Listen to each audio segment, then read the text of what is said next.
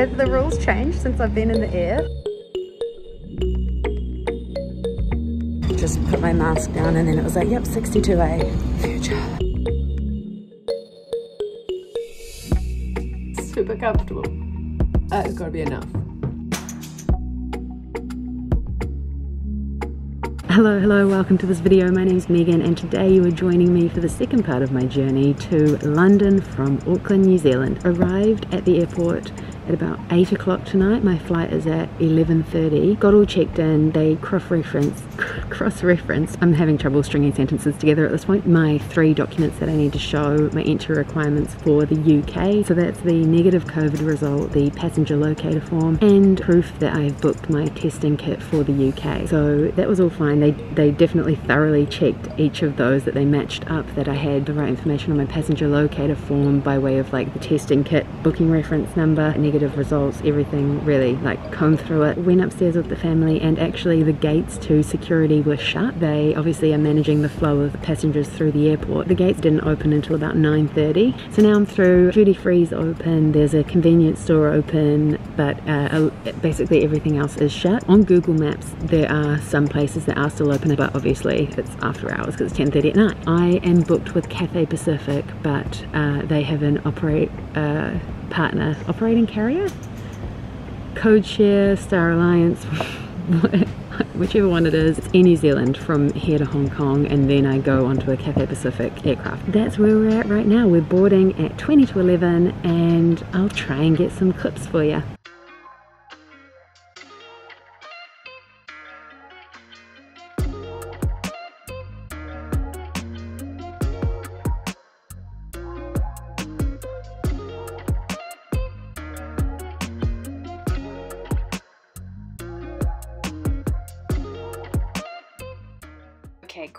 voiceover and shout out to Air New Zealand. So I was sat next to a lady. There was one seat in between us. We were on a three-seater, and the air host was like, um, "After takeoff, you can move." And I was like, "That's cool, that's fine." And he came over later, and he was like, "Okay, we're going to be waiting here for a little while, so I'm going to move you up to this row." And he whispered, he was like, "There's a sky couch." So I lucked into getting a sky couch, and thank you to that kind, kind man.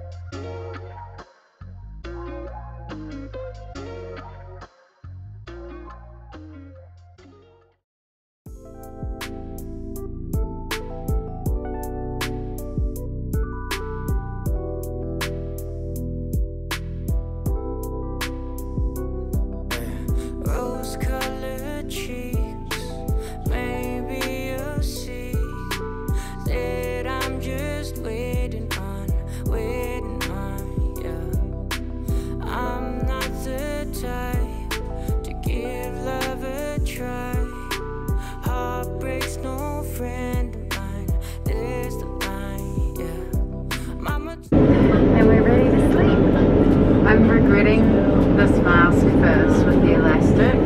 It's getting sore, but I'll sleep and I won't notice it. So let's go and do that.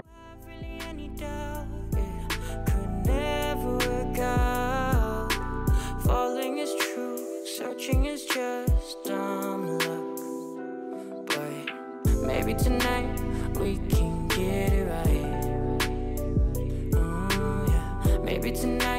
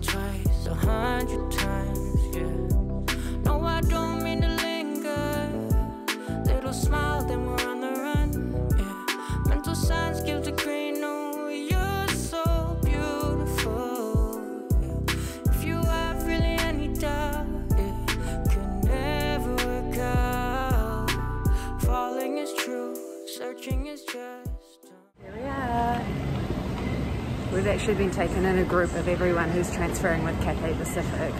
Um, we're being led by someone, so there's a group of us going on to London with Cathay. If you're going on to London with another airline, you're going another way. TBC. I'm actually lucky that one of the ladies saw the sign because I was fully in my own world. I was on a mission because I've done this route before. So I was just marching off and then this lady stopped and then looked at the sign and then moved over and I was like, oh, what's the sign? And then she moved over. I was like, oh, saw my name on the sign. I was like, oh, I need to be here.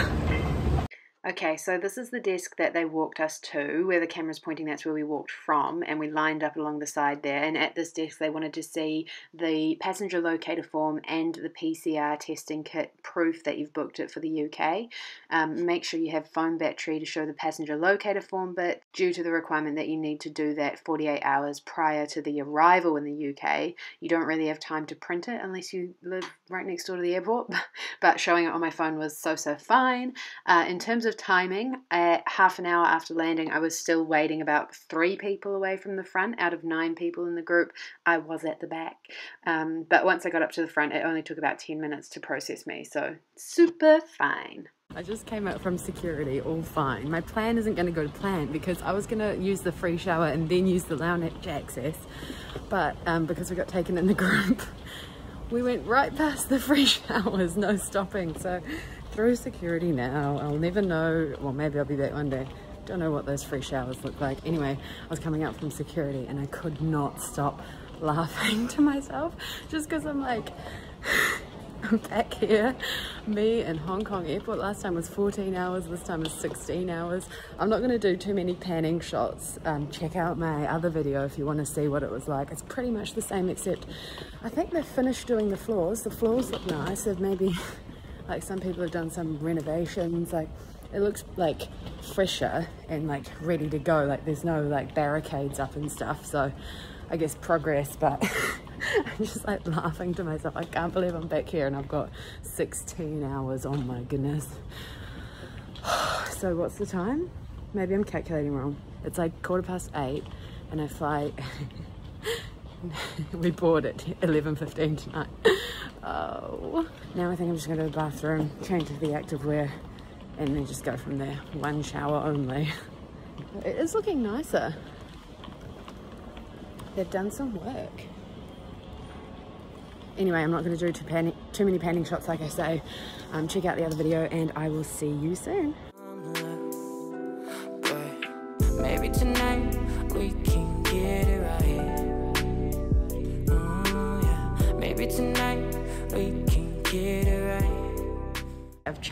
In the bathroom into just some like activewear-ish. I'm gonna get a coffee. I'm not gonna fight it. I had a whole schedule for myself and I'm thinking, you know what? If I make myself super tired before I get on the plane tonight, I'm gonna sleep and then I'll arrive first thing in the morning in London so it's not that bad. Let's face it I'm not gonna sleep. It's morning and it's like midday in New Zealand. I'm gonna go and do some yoga and stretching down the other end of the airport because I know from previous experience that it is super quiet. So that's where we're at. When I talk about printing documents I think it's because in my experience and especially when you're traveling because you know your data I don't know it can take a little while to catch up or maybe it's slower whatever but when you're in heavily concreted buildings, sometimes your data just doesn't pull through on your phone, right? And then if there's no Wi-Fi network, that's why I like to have things printed. So I showed up to the counter and I just plopped all my printed down and then I had the passenger form on my phone, which was fine. And then it was all good. So, you know, smooth sailing. So thank goodness part of my organization pulled through for me. Anyway, let's go see if that cafe's open that was open in December. Hopefully it is. I need coffee. Oh, new shop open alert. That one next to the cafe wasn't open before, but my the old faithful cafe's here, so let's get it.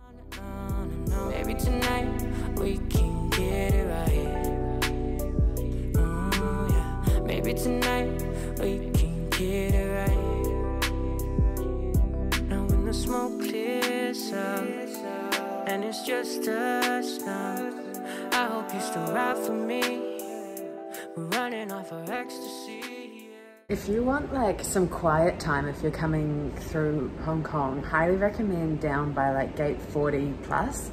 There's like little like desks, there's charging spots, There's lounges, there's water, there's nice bathrooms. Highly recommend.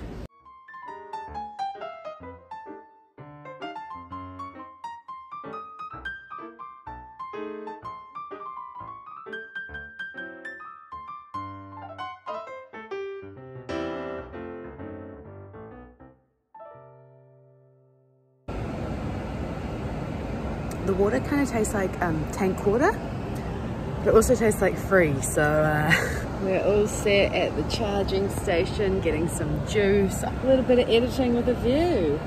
Not so bad, not so bad.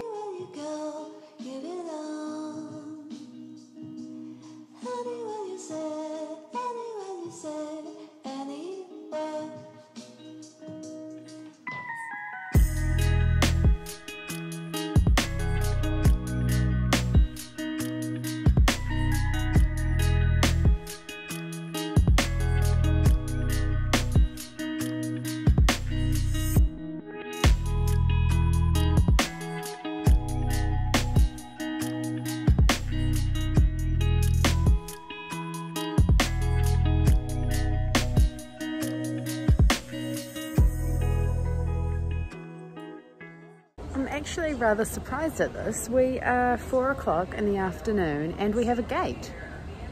I wasn't expecting that. I don't know if it came up this early last time, but we have a gate.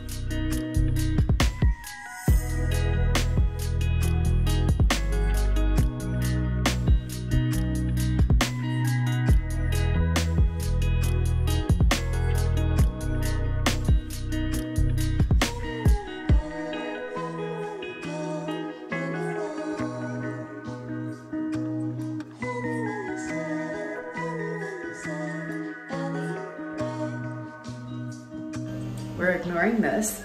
But oh my gosh, you guys, I am living. This is beautiful. I feel like I'm in like a five-star hotel bathroom. I don't want to ramble too long because I need to make the most of my half an hour slot that is starting right now.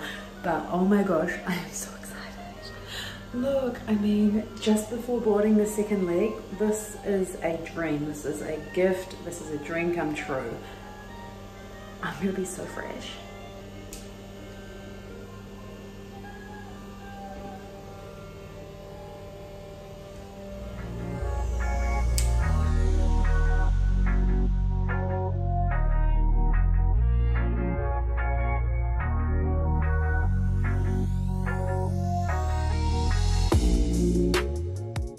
All right, you guys, we're boarding now. Do you know what's crazy? The last half an hour has been a mad rush. I don't know how I had 16 hours and then the last half an hour is a rush. That's ridiculous.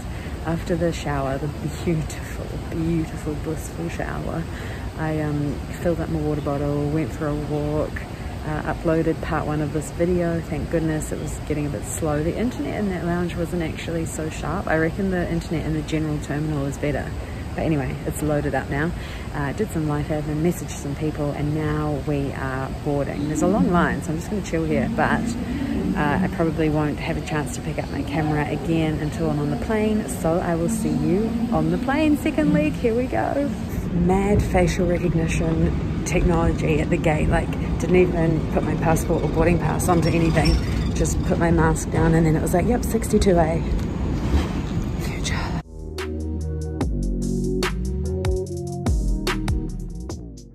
We got settled in, and let me tell you, this flight was at capacity. I know I'm used to empty cabins at this point, but it made me remember the old long haul flying. Like, there was one seat between people not traveling together, but other than that, it was like fully full. Like, it was a full flight. And then, just about half an hour after we took off, this happened. It was the most surreal thing. I haven't seen anything like this before in all my years. the lights from the city completely lit up the clouds. It was like the most insane. I just, I was in awe for ages. I was just looking at, you know, one of those moments where it just makes you reflect on life a little bit. Like I was in my feels. But isn't this incredible? I saw a great quote recently, and it was think lightly of yourself and deeply of the world. And just, this was one of those moments where you do think deeply of the world.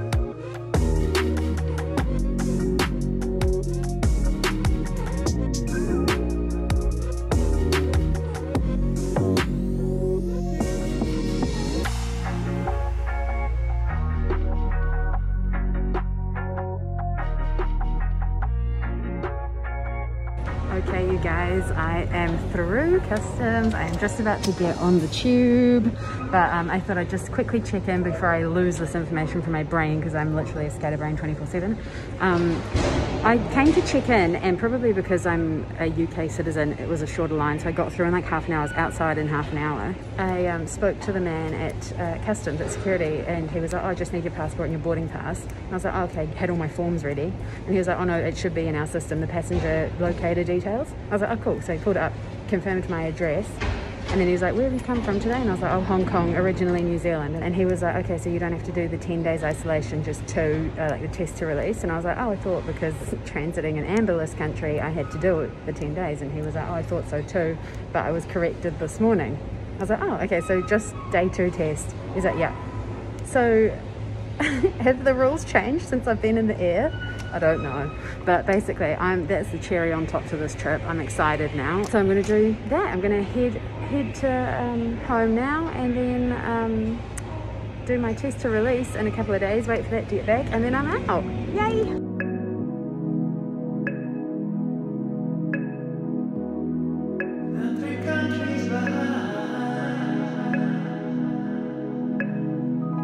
Okay, you guys, that was the most beautiful moment. I just took my mask off for the first time in like two days.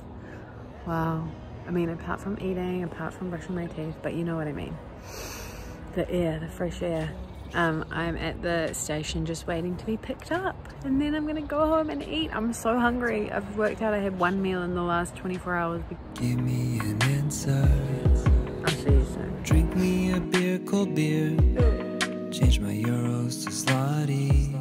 Day zero didn't do much. I came back, felt tired, pushed through, went on the exercise bike for a little bit, um, caught up with family, and then went to bed at seven, slept through until about six. Then yesterday, I actually got a bit of life admin done, and now I'm gonna get ready and then do my uh, COVID test and post that off, and then we will wait to see what the results are tomorrow. So this is the kit. Um, there's actually only one swab in here, so I think they must send another one for day eight. But now that it's changed anyway and I'm only doing this one, it doesn't matter. Wake up your bed, my hand all over your body. Okay, it's time. You to take your throat sample. And gently slap around the inside of your nose. Repeat this to your other nostril using the same swab. For the entrance. Okay. Okay, okay, okay. Wait, do I leave that closed? Uh, how close do you want to be to this action? Maybe I'll put something over it.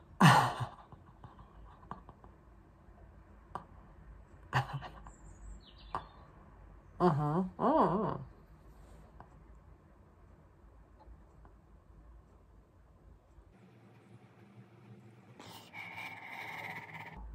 Uh, it's got to be enough.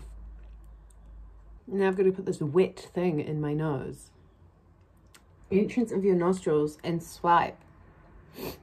this is gorgeous. Um, the in, place the tip of the bud at the entrance of one of your. Repeat this for your other nostril with the same swab. Gorgeous again. Quick. Like.